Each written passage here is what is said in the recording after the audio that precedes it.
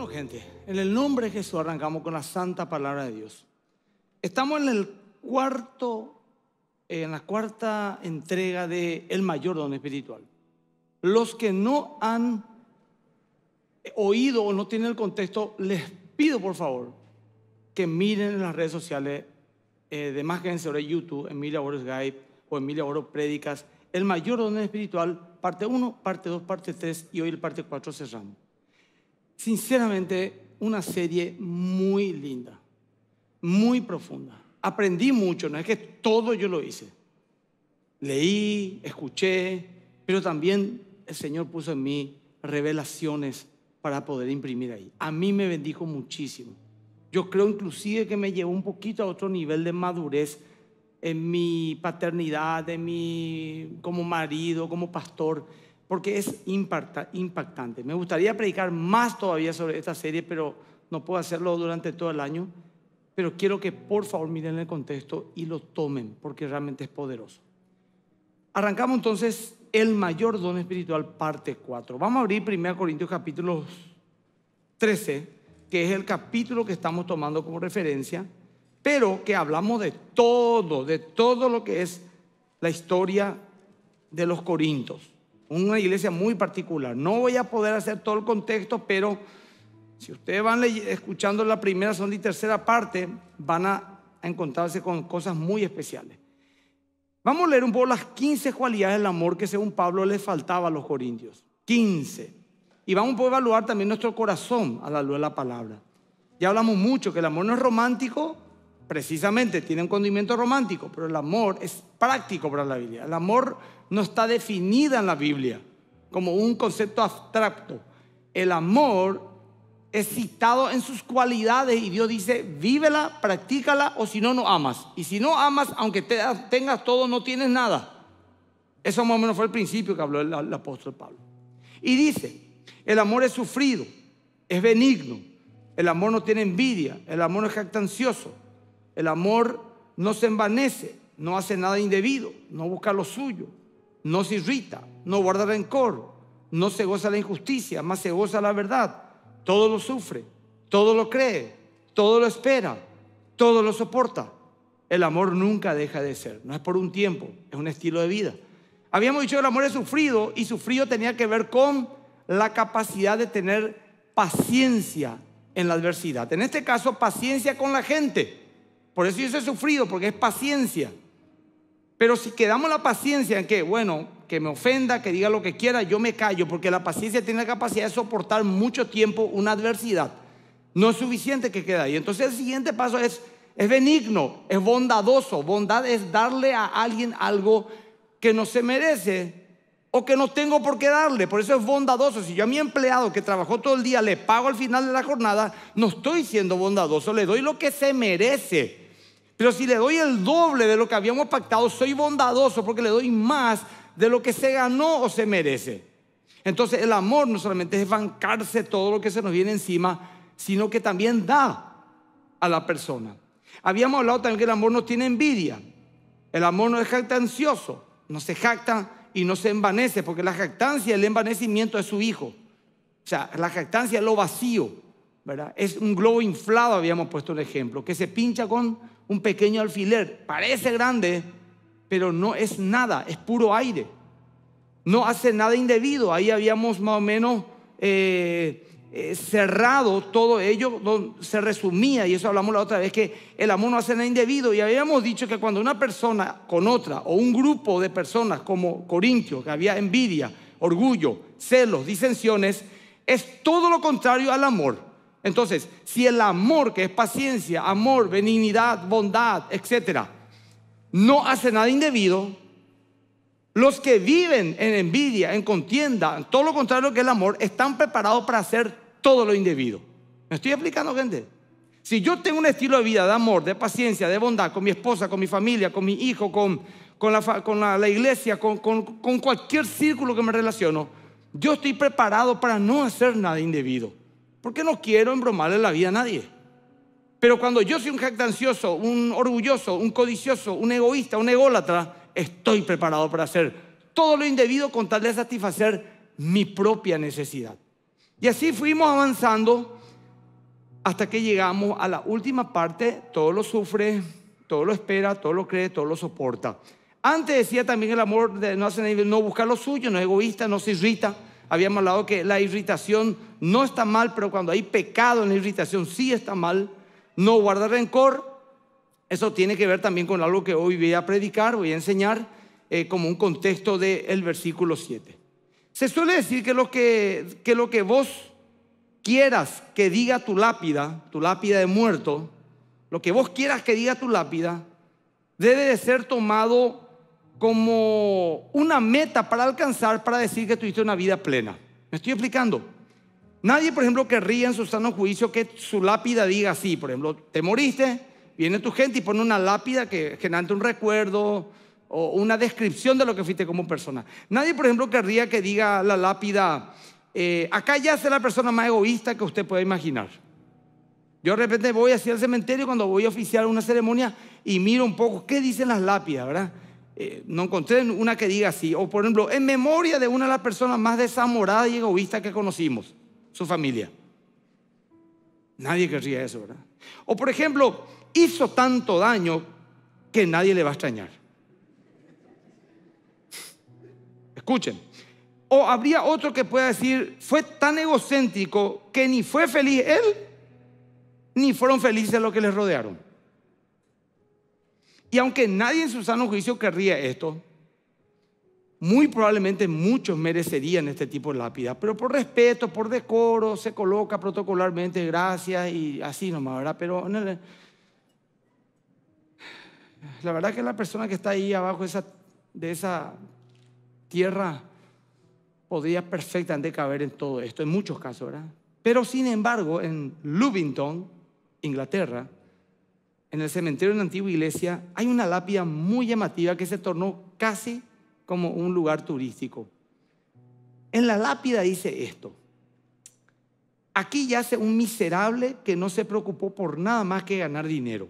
¿Cómo está y dónde está? Nadie sabe, ni tampoco más nos importa. Una de dos, o su familia era terrible, o este realmente era un desgraciado. Porque poner eso por la lápida a alguien que ya murió es duro. Pero es verdad, es verdad. Esto, esto, esto está en, en esa ciudad de Inglaterra, en una antigua iglesia. Como 200 años tiene la lápida. Pero hay otro en la Catedral de San Pablo en Londres que es totalmente lo contrario. La lápida dice, para la sagrada memoria del general George Gordon, quien en todo momento y en todo lugar entregó su fortaleza a los débiles, su sustento a los pobres, su compasión a los sufrientes, su corazón a Dios. Dos epitafios y dos vidas. Una desperdiciada y otra llena de bendición para todos. Una vida llena de egoísmo, ausencia de amor y otra de amor y entrega a los demás. Y de hecho, si el amor es dar, lo contrario que es no dar. Y el antónimo de amor no es odio. El antónimo de amor, hasta filosóficamente te diría, es egoísmo. Porque si el amor es dar, lo contrario de dar es ser egoísta. Todo para mí quiero. Entonces, si el amor es dar, el no dar es lo contrario, no el odio. A veces inclusive es un dicho popular, entre el odio y el amor hay solamente un paso. Hay gente de repente que aparentemente no te quiere, te odia, pero en el fondo de una manera manifestar una admiración profunda, por ejemplo, ¿verdad? Pero cuando uno no da nada, encontramos una persona desamorada. Ahora, por ejemplo, si el amor es dar lo contrario, no sería odio, sino indiferencia. La indiferencia es falta de empatía, es egoísmo. ¿Y qué mejor define todo esto que el orgullo, la vanidad, la soberbia, la falta de respeto? La manipulación. Todas esas son herramientas del egoísta. Un egoísta, todos tenemos un grado de egoísmo, ¿verdad? Todos, eso no podemos negarlo. Pero hay un grado que ya es peligroso, perjudicial, dañino, incluso para su propia familia, para los que más ama. Entonces, si vos le miras a una persona egocéntrica o ególatra, vas a analizar y vas a mirar su vida y te das cuenta que tiene rasgos de orgullo, de vanidad, de soberbia, de falta de respeto y manipulación, por supuesto, porque todo quiere para él. Así como ningún padre desea tener un hijo ladrón, por ejemplo. Yo no conozco ningún papá y me encantaría que mi hijo sea un gran ladrón, o sea, un vago, un perdido, un violador. Quiero que mi hijo sea un vividor, un inepto. Nadie quiere. Así también nosotros los padres cristianos debemos pelear al máximo para que no tengamos un hijo o una hija egoísta. ¿Cuánto nos preocupamos de eso realmente? A veces nos preocupamos y quiero que mi hijo sea instruido, que hable idiomas, que, que sepa estudiar, que sepa, que sea educado, respetuoso, culto, cultivado, que sea un buen cristiano, ¿verdad? O que sea un creyente, gloria a Dios. Pero puntualmente tenemos que trabajar para que nuestros hijos no sean egoístas. Tenemos que enseñarle a dar, tenemos que enseñarle a, a, a porque es intrínseco el egoísmo. Yo me acuerdo que a mis hijos le hacía ahorrar en una alcancía unas moneditas que durante todo el año, para ejercitar la paciencia, cuando tenían 6, 7 años, eh, en diciembre íbamos a abrir. Y ellos podían comprar todo para lo que ellos quieran. Y se juntaban en todo el año un 500, 600 mil ni que para ellos muchísimo, con 6 años de edad, ¿verdad? Y yo les decía, primero vas a apartar tus diezmos porque yo practico el principio del diezmo. Este es un tema cuestionado, pero para mí es un principio. Yo desde los 19 años hasta hoy practico y quiero que ellos practiquen. Es, una, es, una, es, una, es un ejercicio espiritual. Van a apartar por lo menos otro 10% para el pobre y el resto va a ser para ustedes. Y cuando rompió uno de mis hijos el, tema chiquitito, me acuerdo que agarró así, dijo, ah, todas las monedas. Yo le dije, ahora vamos a apartar el 10 para el pobre y el 10 para, para la iglesia. ¿no? Y en su mirada inocente, porque tenía como 6 años, ya percibí esa naturaleza que de no ser controlada el día de mañana puede ser muy peligrosa. Y todos somos así. Muchos dicen, Señor, yo quiero ganar más para 10 más, más. Y después llega el momento de dar y... Ah, no es fácil. No es fácil. Pero manifiesto un ejemplo nomás, puede ser otro también. Eh, antes cuando, hoy en día, una, la esposa le gusta películas románticas, al marido le gusta películas de acción, y, ven primero, bueno, vamos a ir a una película de acción y mañana yo elijo la mía, y, ven, y la otra trata de mirar como puede, ve. Y después, bueno, hoy una romántica, pero viste la, la que se estrenó ahora, viste la serie tal cosa, y empieza al tipo, porque son casos verídicos, a darle vuelta, ¿y cómo termina? Mirando otra serie de acción. Y así tres, cuatro series ya, ¿verdad? O viceversa también puede ser, ¿verdad? Es una manipulación por egoísmo. Hasta que ella se enoja y dice, yo nunca veo lo que quiero. Y el otro se enoja y dice, bueno, está, ve entonces vos lo que querés, yo me voy. Se ofende y se va. Y la otra mira solo, el tema era mirar juntos. Es un egoísmo. Tal vez parece trivial mi ejemplo, pero créanme que de ahí a otras cuestiones podía descomponerse la relación. Eh, yo practico eso, practico a veces no me gusta, quiero ver algo, tal cosa, y me veo mío. Y bueno, está bien. Voy a practicar un poco el dar, ¿verdad? dar tiempo. Y así debemos buscar que nuestros hijos no sean egoístas. Porque si egoísta va a ser desamorado. Y si no tiene amor, nada es. ¿Se acuerdan lo que dijo el padre? Nada sos. Puede ser rico, famoso, inteligente, talentoso. Si no tiene amor, no sos nada, dice el Señor. Entonces yo quiero que mis hijos tengan amor y no sean egoístas porque no quiero que Dios diga, este no es nada. Es un címbalo que retiñe o un pedazo de hierro que se golpea contra el piso. No produce nada agradable. El único momento en que alguien aporta algo es cuando no es egoísta. Escucha. El único momento cuando alguien aporta algo es cuando no es egoísta. La única vida que impacta a la, demás es una vida que se despoja de sí mismo, da su tiempo, da su recurso, da su consejo, da atención, da, da, da. Esa es la vida que tiene fuerza. Es lo contrario al egoísmo. Quiero recibir, quiero dar, no quiero nada. Hay gente, por ejemplo, que está enferma, le vienen a visitar. Se enferma otro, se olvida. Alguien le ayudó en algo, agradece. Le toca el ayudar, se hace el tonto. Eso es un egoísmo atroz. Nadie deja un buen legado no amando a nadie. Nadie. Si vos querés dejar un gran legado a alguien, a tus hijos, a tu familia, al mundo, a, tu país, a tu comunidad, a tu empresa, lo que fuera, a tu iglesia, nadie va a dejar un buen legado no amando. Y a la vez, se ama otra vez encima a sí mismo. No, no es ni una virtud. Los cristianos no pueden vivir una vida egoísta. No, no pueden. Escuchar, no, pero yo soy cristiano y puedo, pastor, y soy súper egoísta. Entonces, no sos cristiano. Repito, podemos tener rasgos de egoísmo, todos los tenemos.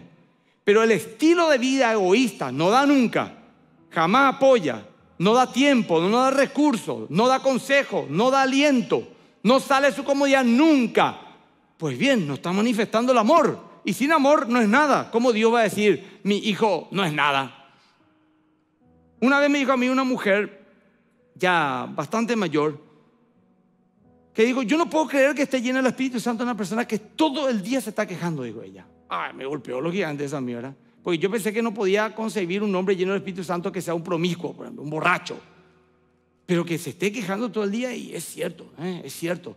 Bueno, yo también no consigo una persona que diga yo estoy con el Espíritu Santo y soy egocéntrica, un egoísmo duro, ¿verdad?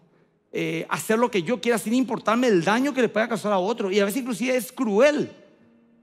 Porque hace saber que se va a hacer lo que Él quiere que se haga. Es una vida egoísta. Y los corintios se portaban así. Ya lo habíamos dicho. Pablo le confronta y le dice, tienen todo menos amor. Y al no tener amor no tienen nada. Incluso sus dones espirituales, lo más lindo que puede haber de Dios, no le era nada por culpa de su carácter desamorado y egoísta que tenían como iglesia.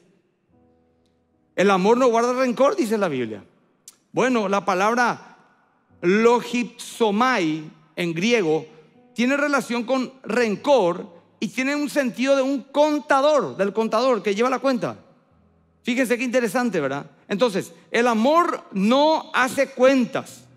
Y alguien que guarda registro constantemente y le va a cobrar a todo lo que pasó, tiene una falla en su amor.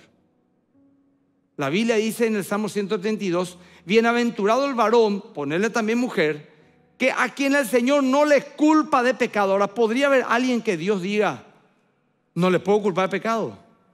Podría haber alguien que diga, yo me puedo parar delante de Dios y decir, no he pecado. Pecamos en palabras, en obras, en pensamientos, en omisión. Pudiendo hacer el bien, no lo hacemos. O sea que nadie podía decir de Dios, yo puedo perfectamente parar delante de Dios y Él no me va a decir nada porque no tiene nada que decirme.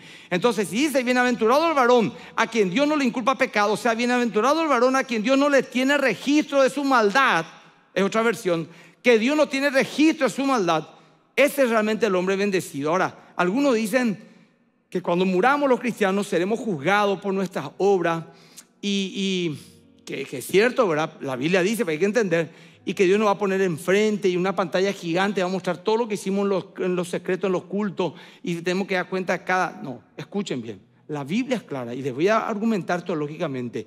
El creyente arrepentido, Dios no le tiene en cuenta su pecado. No importa lo que haya pasado, si muere en arrepentimiento y en fe, Dios no le va a exponer delante de los ángeles ni delante del trono. Su registro ahora será de lo bueno que haya hecho para que sea aprobado si eran madera, heno y hojarasca y si permanecen. No va a decir, ah, no, vos en el año 1976 hiciste tal cosa, acá está. Y la noche, de esa misma noche hiciste tal cosa y voy a te arrepentiste y voy a pedirte perdón y voy a cambiarte de vida. Nunca Dios te va a exponer. Él no guarda registros de tu pecado. Difícil de entender porque tenemos un corazón caído. Pero para Dios no tiene problema. Algunos dicen que tendrán que dar cuenta de cada pecado grande o pequeño que hayan hecho en la vida. Esto es una verdad para el impío. Es una verdad para el no arrepentido. Para que sepa que su juicio es justo y su condenación también. Pero no para el creyente. Al que depositó su fe en el sacrificio, Cristo arrepentido de sus pecados. A veces inclusive les digo así sincero, hermanos, porque tengo que hablarles claramente. No se trata que, Señor, perdóname por este pecado que hice. Yo busco arrepentirme de verdad de mi pecado, Señor, de verdad. Y ahí saben que gente entre nosotros, no me arrepiento por mi pecado. No puedo arrepentirme. No puedo. ¿Qué pecado, pastor? Y bueno, pecado de carácter. Pero a uno le dije todo y, le dije y, y estuvo mal. Estuvo mal. Airado, pero no pequé. Entonces yo le digo, Señor, yo necesito que vos me ayudes, Señor. Trata conmigo trata conmigo. Y mi oración no se torna en una petición hueca de pedido de perdón, sino en una dependencia de Dios exponiendo mi miserabilidad, diciéndole al Señor, ayúdame. Y caigo otra vez. Pero pues, ayúdame, Señor. Yo no quiero ser así de verdad.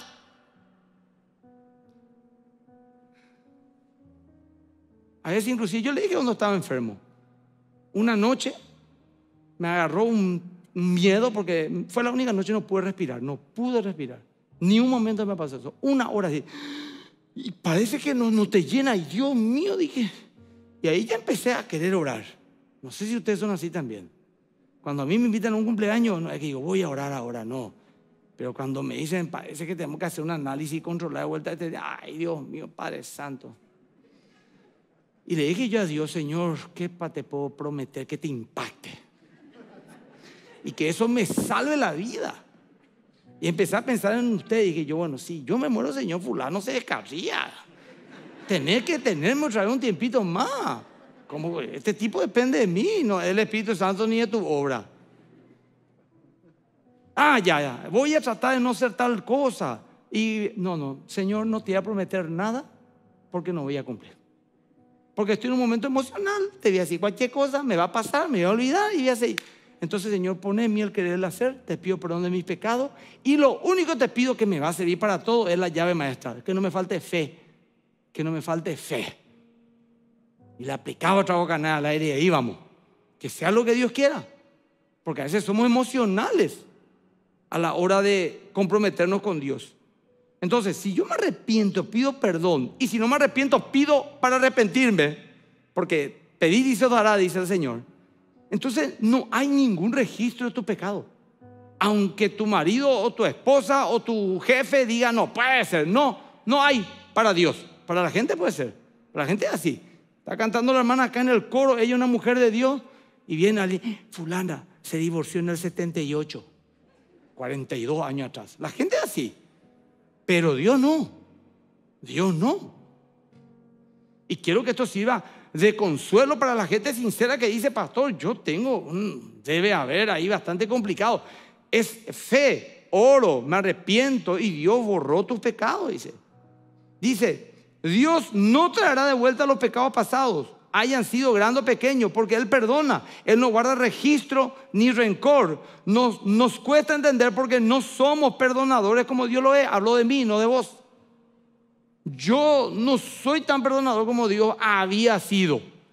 Ese de que nada, nada, nada, nada.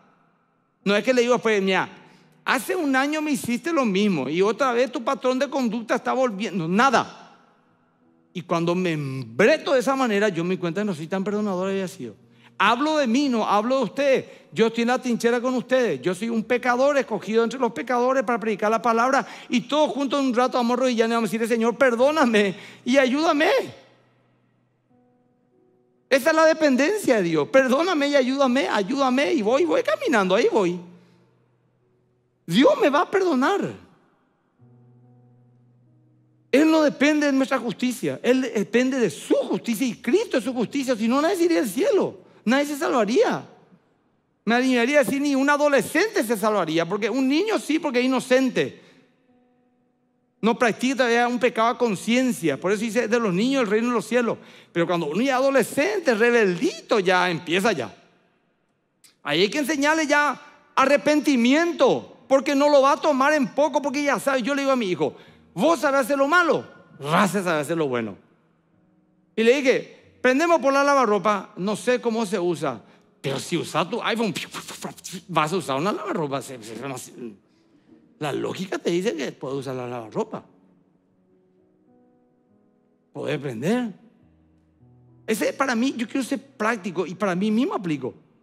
Porque así yo estoy nervioso y digo cosas y no aguanto y no tolero y pido perdón. Y no aguanto, después me llaman uno usted y, hola hermano, Dios te bendiga. Entonces aquí sí que puedo controlarme. Había sido. Pues no te puedo decir, claro que quiero otra vez. No, puedo decirte eso. Y voy a ir, ay, el pastor está todo el día en paz. Y no, y ahí me doy cuenta, yo puedo también. Ahora, fracaso, hermano. Pero para eso está el, el, el WhatsApp del Señor el Jeremías 33, clama a mí, yo te responderé. O el 0011, ¿verdad? 00 tu rodilla por el suelo, Acá. Y el 11 es tu brazo levantado. Ese también es un número de urgencia. Porque somos terribles, hermano. Bueno, soy. Ustedes a lo mejor no, ¿verdad? Miren, Dios es bueno. Nosotros no somos suficientemente puros de alma como para entender tanta gracia. Es más, es el concepto cristiano más rechazado. Fíjate, gratis la salvación. No, no puede ser. No puede ser, tengo que hacer algo. Tengo que tener un mérito. Ni uno tiene. Pero no, no, no. Está contaminado. Romanos 4:22 dice, por lo cual su fe le fue contada por justicia. Creyó y le fue contado por justicia. Él creyó y fue perdonado. El amor mira más allá del pecado de una persona. Escucha, el amor, esto a mí me impartió algo. El amor mira más allá del pecado de una persona. Mira el potencial y puede ver en ella perdón cuando nadie otro la ve. Y yo a veces pienso en mi propia vida y digo, Dios no me trata en base a mis errores, Él me trata en base a mi potencial que voy a poder lograr en el perdón. No es fácil, gente. Pero Dios puede hacerlo. De hecho, estamos terminando. Todo lo sufre, todo lo cree, todo lo espera, todo lo soporta. Ahora, soportar no es ese que como nosotros usamos, le aguanto a este, ah, hace 20 años le soporto a este tipo. Ah. No, no, esa no es la palabra soportar. Soportar es soporte, ¿verdad? Por ejemplo, un maderamen que está así inclinado y acá le soporta otra, otra madera como un pilar y eso impide que este maderamen caiga totalmente. Entonces, lo que yo soy como creyente, con mi familia, con mi, la gente que me rodea, con mi jefe, con mi empleado, es soportarle. Es significa, te voy a dar mi hombro para que no caigas totalmente.